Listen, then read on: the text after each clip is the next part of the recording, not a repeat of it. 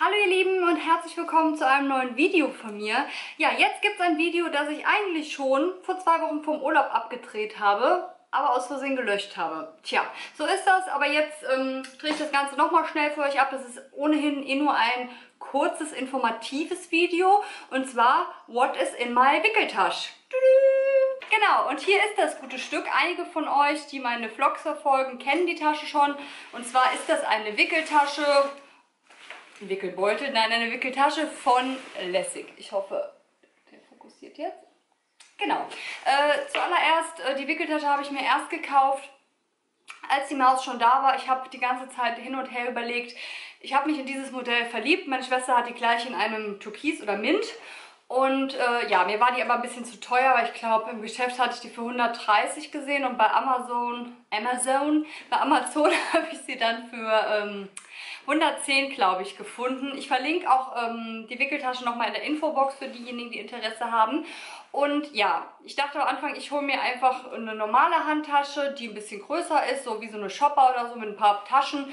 Im Endeffekt habe ich mich dann doch dafür entschieden und ich bin super, super glücklich und zufrieden. Ich denke, man braucht die zwei bis drei Jahre, eventuell, wenn noch ein Kind kommt, noch länger. Und ich kann euch sagen, ich wurde bis jetzt schon so oft auf meine Tasche angesprochen von ganz vielen Müttern und auch Nichtmüttern, dass die Tasche einfach total schön hochwertig ist und so ist das auch, wie man das von Lessig halt kennt. Ja, die Tasche ist in so einem Rosé, die hat ähm, so drei verschieden größige Henkel. Also einmal hier so ganz lang, für die einfach so umzuhängen. Dann ähm, solche, dass man die auch so nehmen kann, aber die auf der Taillenhöhe hängt. Und dann aus Leder, gehe ich jetzt mal von aus, noch äh, so kürzere, dass man die einfach in die Hand nehmen kann. Ich weiß jetzt nicht, ob das normal ist, dass man alle fünf Henkel dran hat, ähm, weil hier sind auch so äh, Clips, dass man die einfach... Ähm, abmachen könnte. Aber ich habe einfach alle dran. Ich finde, das sieht jetzt auch nicht komisch aus und für mich ist es so in Ordnung. Dazu sind dann hier noch ähm, solche zusätzlichen Laschen und mit der Tasche geliefert wurden auch von Lessig diese Halterungen für den Kinderwagengriff. Die kann ich euch super empfehlen, auch wenn ihr keine Tasche von Lessig habt. Die Griffe oder diese Befestigungsdinger gibt es auch einzeln zu kaufen, auch bei Amazon. Ich verlinke das auch noch mal in der Infobox. Und ähm, ja, da braucht ihr halt an der Tasche nur irgendwie so Laschen, wo ihr das festmachen könnt. Da ist ein äh, Klettverschluss, dann macht ihr es an den Kinderwagengriff und könnt die unten einrasten. Und das ist super praktisch, weil die Tasche dann quasi an diesen zusätzlichen Dingern so hängt und man an alles drankommt. Dann hat die Tasche, um genau zu sein, drei Fächer, zwei außen und ein mittleres Fach. Am Anfang war es so, dass ich, ähm, ich habe ja keine normale Handtasche dabei, sondern das ist ja jetzt auch meine Handtasche mit in einem, äh, immer mich äh, ganz verrückt gesucht habe, wenn ich irgendwas gebraucht habe. Auch Marco, oh Gott, wo ist mein Portemonnaie? Und dann wühlt man darum. Also habe ich das für mich so umgesetzt, dass ich in den äußeren Fächern, also hier unten und hier oben, meinen Kram drin habe und in der Mitte, was auch das größte Fach ist, ist Marlies Kram. Und ich würde sagen, einfach weil es passt zur Wickeltasche, fange ich mit Marlies Kram an. Also hier ist auch ein Reißverschluss in der Mitte. Ähm, ja, wenn ich jetzt unterwegs bin, packe ich auch mein Portemonnaie in die Mitte, mache das zu und das Handy auch in das ähm, Innentaschenfach, damit mir das nicht geklaut wird. Ansonsten ist aber mein Kram immer in den Außenfächern. Ich fange direkt an. Die Tasche wird mit Zubehör geliefert und zwar einmal mit einer Wickelunterlage. Die sind im gleichen Design. Die finde ich super praktisch, habe ich auch schon mega oft benutzt. Zum Beispiel, wenn man irgendwo in äh, öffentlichen Wickelräumen wickeln muss. Ich will mein Kind nicht da drauflegen. Ich weiß nicht, wer das sauber gemacht hat und deswegen habe ich sowas immer dabei. Anfangs hatte ich auch von DM diese Einmalwickelunterlagen immer dabei, aber die knittern irgendwann so, weil die halt so lose sind und das ist einfach mega praktisch. Das ist halt hier so geschichtet. Außen, wie gesagt, der Stoff vom, äh, von der Wickeltasche und äh, ja, man kann die Maus entweder so längs drauflegen, wenn sie noch nicht so groß sind oder halt hier nur mit dem Windelbereich, ja. Und wie gesagt, die mag ich super gerne. Die kann man dann so klein zusammenfalten und passt dann super in die Tasche. Genauso habe ich äh, dann hier so ein eine Wickeltasche in der Wickeltasche, sage ich jetzt einfach mal. Die habe ich von einer Freundin zur Geburt geschenkt bekommen und die ist aus einem Davanda Shop. Äh, hier steht jetzt drauf Frieda Fröhlich. Äh, wie gesagt, ich habe sie nicht selbst gekauft, aber könnt ihr ja mal schauen, ob ihr die findet bei Davanda. Und ja, das ist quasi, kennt ihr bestimmt auch. Die sind ja so selbst genäht. Das ist halt so eine Windeltasche. Hier habe ich jetzt einfach ein paar Windeln drin, zwei Pampers, eine Babylove, einfach, ja, weil die halt immer drin stecken. Normal habe ich immer vier Windeln, dabei muss ich gleich noch eine reintun. Ich habe aber die Tasche mir jetzt einfach geschnappt und nichts mehr umorganisiert. Also das ist wirklich so meine Wickeltasche, wie ich sie jetzt mitnehmen würde. Dann habe ich hier so eine Packung Feuchttücher von Babylove, die kleine Packung mit 30 Tüchern drin. Genauso ähm, von Babylove feuchte Waschlappen. Ja, falls die Maus, die greift ja jetzt schon ziemlich viel, steckt sich alles in den Mund und falls man die Hände oder das Gesicht mal sauber wischen muss, nehme ich lieber so einen feuchten Waschlappen. So ein Ding hier ist mega praktisch. Vielleicht könnt ihr selber nähen, vielleicht habt ihr eine Freundin, die nähen könnt oder schaut doch einfach mal in da Wandershops vorbei. Ich weiß, da gibt es zigtausend ähm, verschiedene Motive.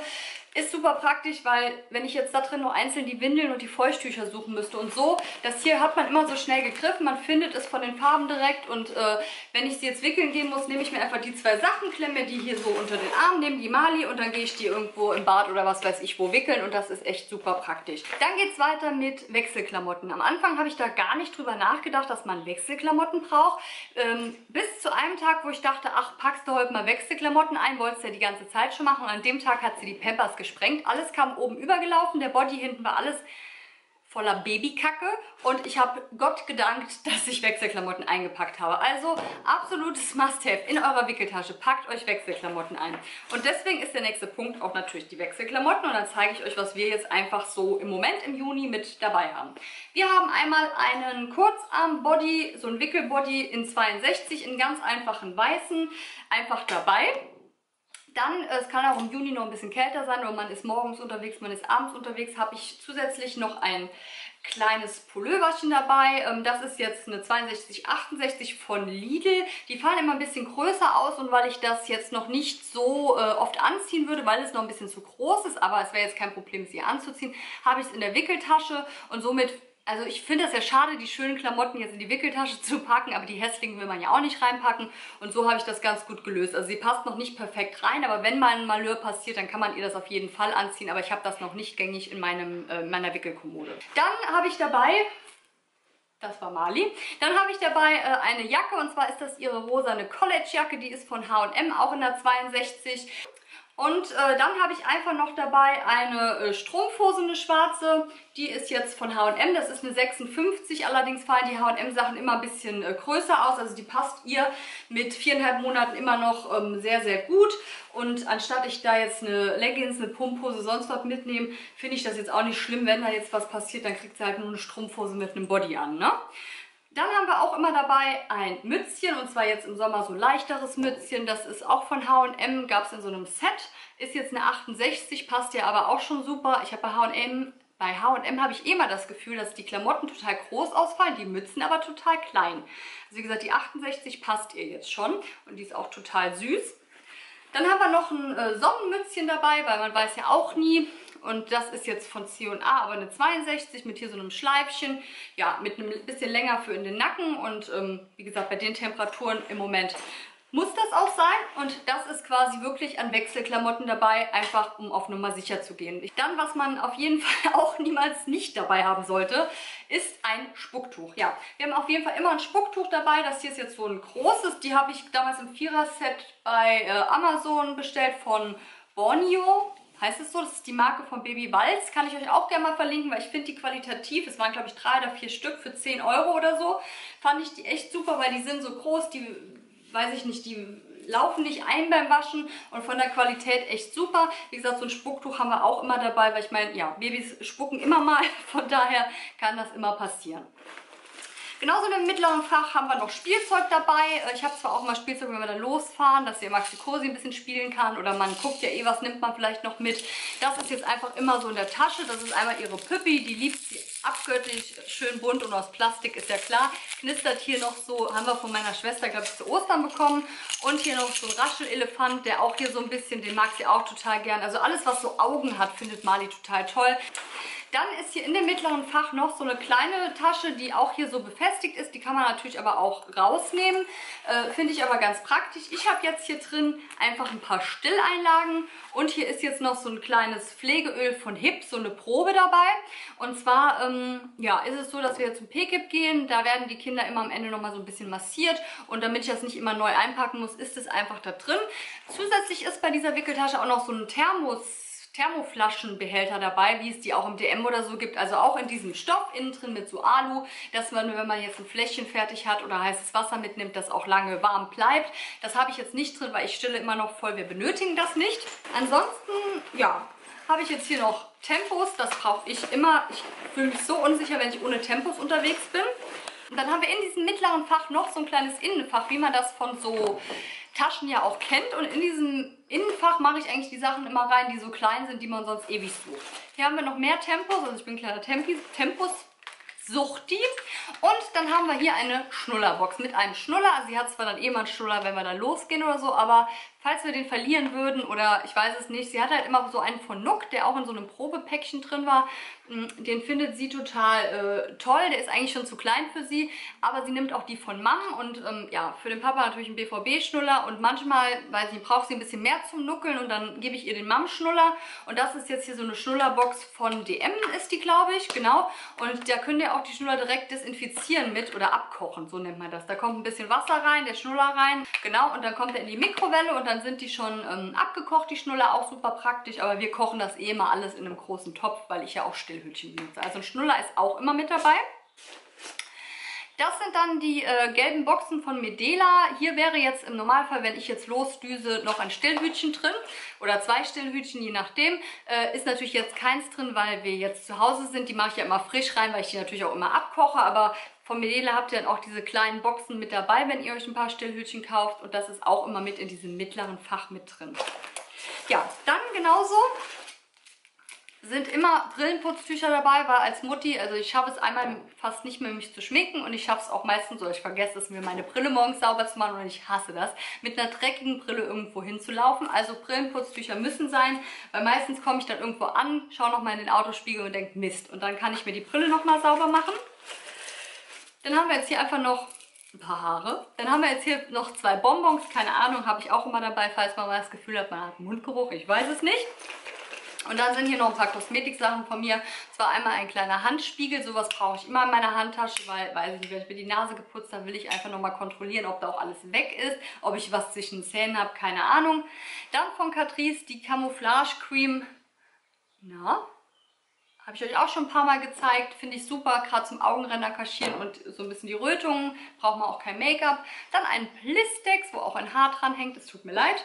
Und meinen Lippenstift, das ist so eine Bärenfarbe von Astor, ist der, ähm, der ist schon uralt, die Nummer 008. Liebe ich aber abgöttisch.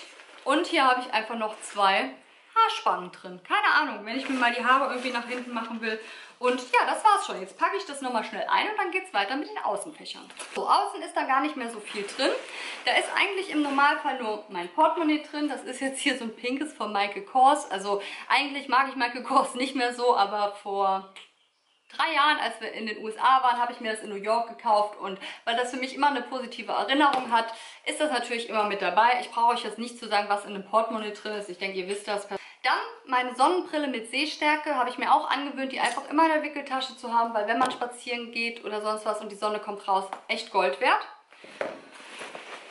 Ansonsten noch mehr Tempos.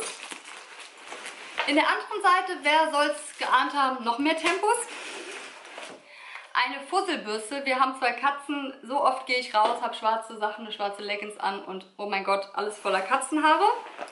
Und dann sind nur noch zwei Sachen drin. Einmal eine Handcreme. Ich gehe niemals ohne Handcreme aus dem Haus, weil ich wasche mir so oft die Finger mit Baby und dann sind die Hände so trocken. Ich brauche immer eine Handcreme. Und mein Tingle-Teaser, der auch Gold wird ist, verlinke ich euch übrigens auch mal gerne in der Infobox. Und das war es auch schon, wie gesagt. Das ist unsere Wickeltasche. Äh, ja, ich hoffe, ich habe jetzt nichts vergessen. Wenn ihr denkt, oh, da fehlt aber irgendwas, was die sich definitiv mal mitnehmen sollte oder was alles erleichtern würde, schreibt es mir gerne in die Kommentare. Sobald die Mali irgendwann essen wird, denke ich, werden da wahrscheinlich noch Babysnacks drin sein, Getränke, Quetschis, ich, Quetschis, ich weiß es nicht, irgendwie sowas. Aber das ist eigentlich so, womit wir sehr gut fahren und ich liebe, liebe, liebe meine Wickeltasche. Ja, das war's auch schon. Wir wollen jetzt los ins Schwimmbad, deswegen beende ich dieses Video. Ich hoffe wie immer, dass es euch gefallen hat. Wünsche euch an der Stelle jetzt noch einen schönen Tag, einen schönen Abend, je nachdem. Und wir sehen uns ganz bestimmt bald wieder. Tschüss, ihr Lieben!